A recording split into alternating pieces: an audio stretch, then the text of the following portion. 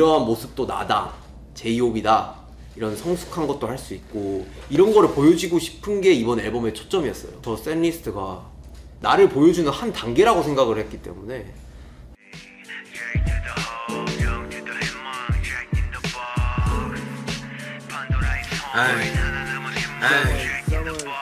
Someone's life, someone's mind, someone's hope 내 활동들은 someone's life 시간은 이름대로 흘러가 Someone's star 내 영혼이 닫으면 생기는 뭐 통화 vibe yeah.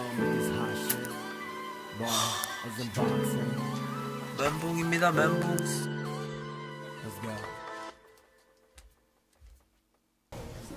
미키 형, 엄마 뭐야? 엄마 뭐야? 미키 잘 지내셨어? 응? 할아버지 어제, 어제 잘 지내셨어? 할아버지, 할아버지 흥분하면 안 돼 서울로 가면은 또 미팅 있고 뭐 있고 제이홉으로 돌아가야죠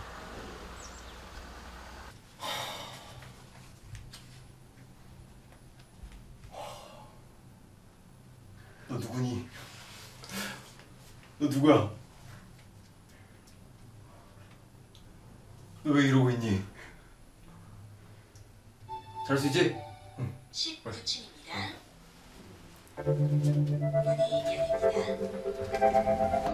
자, 잘 부탁드릴게요. 자, 파이팅! 한번 질러줘. 하나, 둘, 셋. 뭐, thank you Lollapalooza, 뭐, thank you 시카고, 뭐, thank you ARMY, 뭐, thank you BTS, thank you HYBE. by my truck 우린 같이 항상 항상 turn up 항상 with my thug right 항상 with my thug right 항상 with my thug right smash on the street smash on the street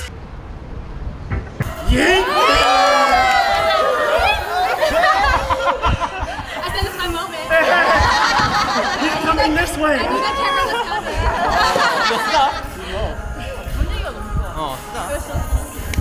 이거 하나 넣어서 안 나와. 피니시. 오케이, 끝.